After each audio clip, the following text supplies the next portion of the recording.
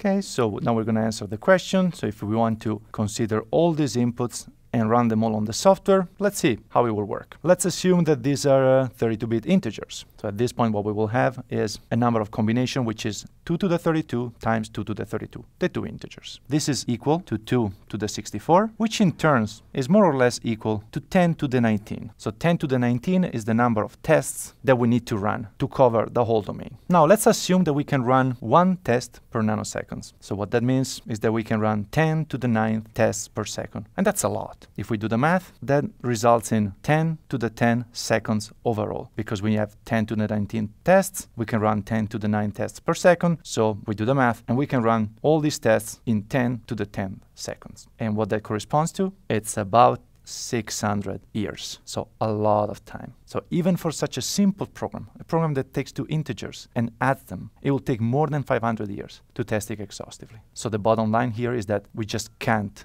do exhaustive testing.